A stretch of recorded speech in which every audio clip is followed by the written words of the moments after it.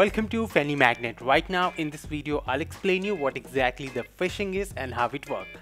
If you see on the screen I have a Facebook page but if you see the link you know on the top the on the browser you will see the link is completely different from a facebook.com. Now that's how the phishing work.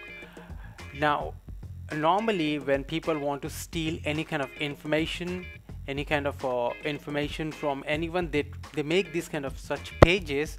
It may be a bank it may be a bank web page. It may be a social media youtube. It can be anything okay? Then they create these kind of pages on a different server and then they normally send you a link on email asking you to sign in and check something. So you click on that link and you get this kind of pages.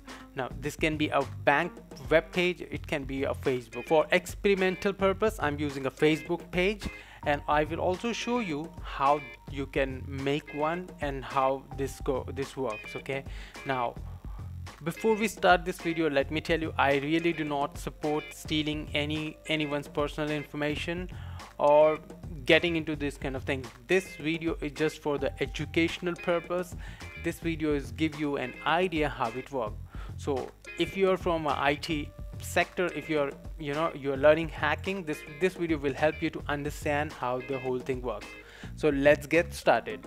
Now as you can see that I have created this Facebook fake Facebook page and the link you can see it's completely different than facebook.com now how you one how anyone can create this fake web page so the first thing you will need a filezilla okay?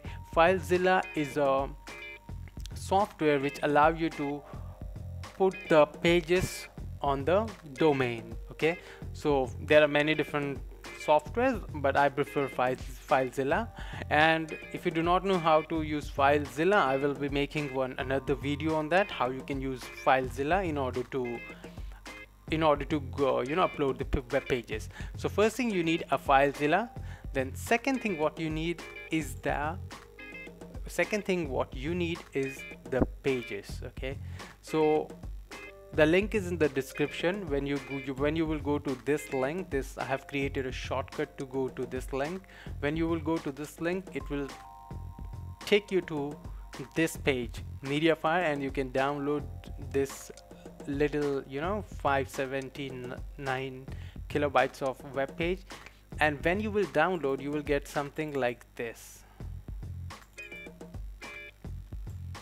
Okay? You will have something like this on your or when you will download. So what exactly you will need to do open the filezilla type the host name that will be a domain name the username and the password and click on connect. Once you connect it uh, by the way i am using a subdomain in order to just to test these things. So that's the reason you see test dot and the name of the domain. Now once you go into that you will see www or you can click on public dot public underscore html or www click on that and once you enter that you will see test okay so when you will click on test when you will click on test you will see these pages okay? These pages I have uploaded from here this okay? So the process is very simple. You just have to you can just drag and drop all the pages from that to this folder okay? And click on uh, upload. And once that is done your web page is ready and it will look something like this. So let's take a quick look how it works. As you can see this is a fake web page of a Facebook. So I'll go here and I will type the username okay? Anything whatever my username is. And in the password I will type I will type some numbers and something. And here I will type let's say fanny magnet and this will be like anything okay? Dot com or dot in whatever. Okay I'll select so as it is saying that you would you like to save the password? I will click no. And here we go. I don't get any web page okay?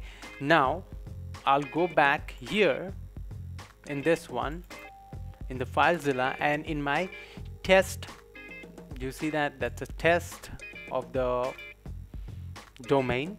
And here you can see that there is something of there is a text file says users. Now I will download that text file. Okay once you double click on that it will get download in the folder. And I will open that now. So let's see alright so you see that? In the first attempt I tried test test and the password I typed that was test and nothing happens okay? I got that this this was the username which I received. And second time I tried that is fanny magnet at yhoo.com and this was the password I typed and I got this as a username of the second person. So you see that it was very easy to you know to get someone's username and a password on the Facebook.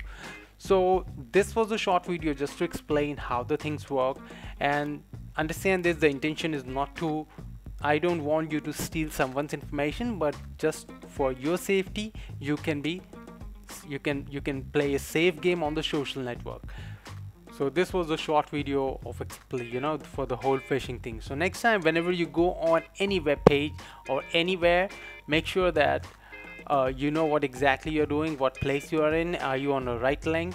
And especially when you're using a credit card make sure that the web page is secured and you don't get into any kind of trouble.